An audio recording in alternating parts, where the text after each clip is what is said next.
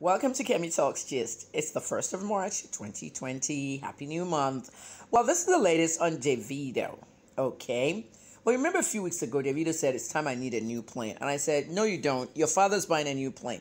And when he pays for it, it's going to come out. It's a Gulfstream, 19 seater, whatever. David was like, What's that woman eating? What does she drink? I want what she's taking. I'm inside your house. Davido, I live in the Adeleke house. I know everything going on. Okay, so when I got the receipt to the Gulfstream, yeah, the receipt. I have the receipt to Davido's father's plane. I said, oh, wow, he paid it all off.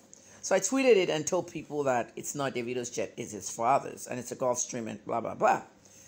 So now he goes like, oh, my baby's here. Our baby's here. Because his father was at the cockpit. And he looked stupid because I told people it's not his jet. Hey, OBO, stop lying. Stop showing off. I know everything going on.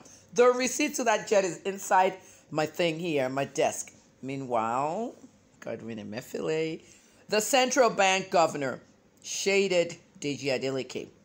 When he was at Ibeju-Lekki inspecting Dangote's refinery the other day, he said, hmm, anyone that defaults on CBN loans, we're going to start seizing their private jets so they can ride on bicycles. They're flying jets up and down. They still owe CBN money. Only God knows what's going on over there. But Emefiele is like, mm, who's he shading now? You can't borrow money from the CBN unless you are big. Big. Did I say he went to Dangote's refinery and he was inspecting the place? So people that have refineries, petrochemical plants, ah, Pacific Energy, that one belongs to Davido's father. So was he shading Davido's father? Will seize your private jets. Just Google that. We'll seize your private jets.